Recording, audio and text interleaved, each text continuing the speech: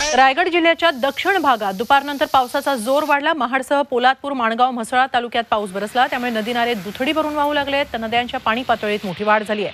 हवामान खात्यानं पुढील तीन दिवस जोरदार पावसाची शक्यता वर्तवली आहे. त्यामुळे प्रशासनानंही नागरिकांना सतर्कतेचा इशारा दिला आहे उत्तर रायगडमध्येही अधूनमधून पावसाच्या सरी कोसळत आहेत.